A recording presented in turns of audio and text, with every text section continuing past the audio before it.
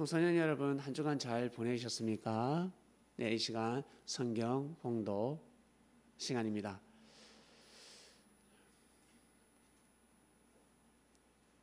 요한복음 8장 42절하고 10편 2편 2절 보겠습니다.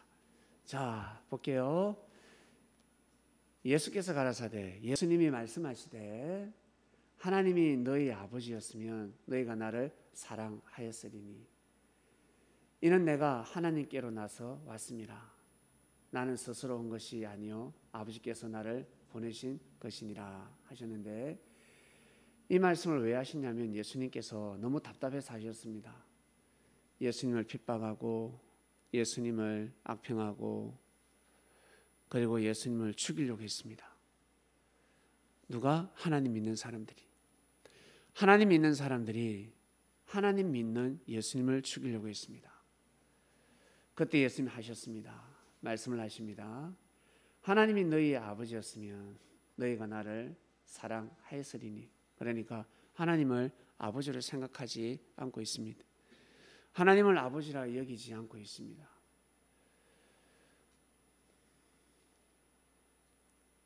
그리고 내가 하나님께로 나서 왔습니다. 나는 스스로 온 것이 아니요 아버지께서 나를 보내신 것이라. 예수님은 오고 싶어서 오신 분이 아닙니다. 하나님이 보내서 오셨습니다. 그 말씀을 하시는 거예요. 내가 지금 하나님이 보내서 왔는데 너희들이 어찌하여 나를 욕하느냐, 핍박하느냐, 어찌 감히 나를 죽이려고 하느냐 그 말씀입니다.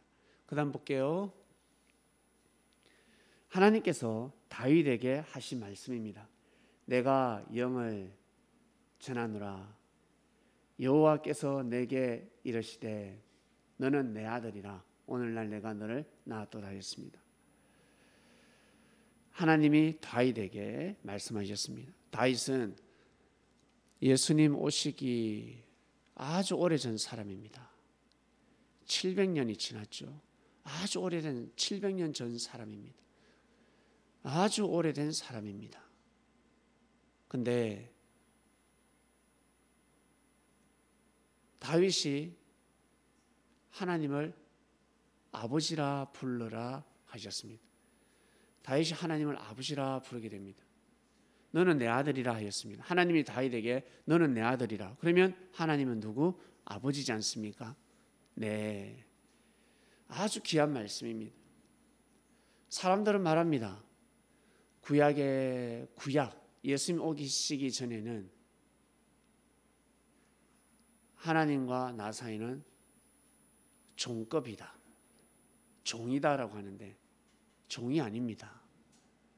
원래는 하나님의 아들입니다. 자녀입니다. 그 수준이 안 되니까 말귀를 못 알아들으니까 하나님께서 나의 종, 나의 종, 나의 종들아 하신 것입니다.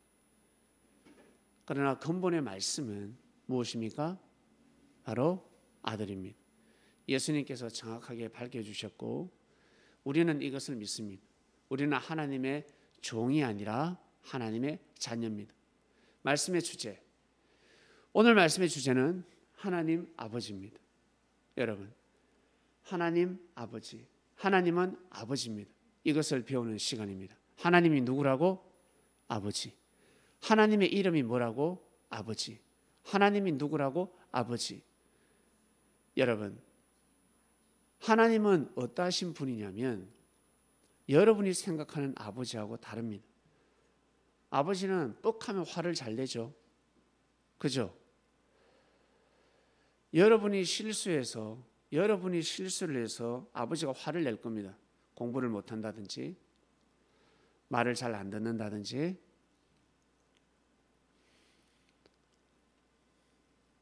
하여튼 부모 말을 안 들으면 아버지는 쉽게 화를 냅니다. 그러나 하나님은 그렇게 쉽게 화를 내시지 않습니다. 그렇게 화를 내지 않습니다. 하나님 언제 화를 내신다? 지옥 갈 것 같다. 구원받지 못할 것 같다. 그러면 화를 내십니다. 아시겠죠? 그래서 아버지 하면 어때요? 여러분들이 말을 잘 들어서 아버지, 엄마 부르면 어때요? 좋아하시죠? 그처럼 우리가 하나님을 아버지라 부르면 하나님은 너무너무 좋아하십니다. 이것을 믿으셔야 됩니다. 그래서 민기야, 성현의 성민이 진해하니 너희들 하나님을 아버지라 불러야 돼. 하나님 아버지, 하나님만 하지 말고 하나님 아버지 제 소원이 있습니다. 하나님 아버지 저를 도와주세요. 하나님이 있다고 하는데 교회에서 예배를 드렸는데 하나님이 있대요. 보이진 않지만 하나님이 있대요. 예수님도 보이지 않는데 예수님이 있대요. 예수님이 하나님의 아들이라 했고 예수님께서 우리에게 하나님의 아들이라고 하는데 예 하나님을 아버지라 부르겠습니다. 하나님 아버지 제 소원이 이렇습니다. 저희 가정 잘 살게 해주세요. 행복하게 해주세요. 저는 앞으로 이러한 사람이 되고 싶습니다. 하나님 아버지. 그러한 기도를 꼭 하시길 바랍니다. 아시겠죠? 오늘 말씀의 주제는 하나님 아버지. 하나님이 누구라고? 아버지입니다. 이것이 진리입니다. 여러분, 나중에 여러분 다 천국 간다고. 청소년 여러분, 천국 가게 되어 있습니다. 천국은 누가 만들었을까? 여러분 부모님이 만들었을까? 아니요. 부모님은 천국을 만들 수 없습니다. 천국을 누가 만들었다고? 하나님 아버지께서 만드신 것입니다. 그러니까 하나님 말씀을 잘 들어야 됩니다. 첫 번째 하나님의 말씀이 무엇일까? 첫 번째 제일 첫 번째 말씀이 무엇일까? 바로 예수님을 믿는 것입니다. 예수님을 반드시 믿어야 됩니다. 예수님 하신 말씀을 반드시 믿어야 됩니다. 나는 예수님을 믿습니다. 예수님이 그리스도 메시아라는 것을 믿습니다. 이것이 진리입니다, 여러분. 진리라고요. 진리. 정말 중요합니다. 좀 부족해도 하나님 아버지라는 것을 여러분 알고 예수님을 꼭 믿어야 됩니다. 이것이 바로 하나님 아버지의 뜻입니다. 비유를 많이 드는데 일제 시대 때 일제 시대 때 일본이 쳐들어왔죠. 일본이 쳐들어왔을 때 착하고 선한 사람들 착하고 선한 사람들이 일본인들하고 잘 지내고 일본인들하고 결혼도 하고 일본인들하고 사업해서 오 사업이 번창했습니다. 어 잘 살아요.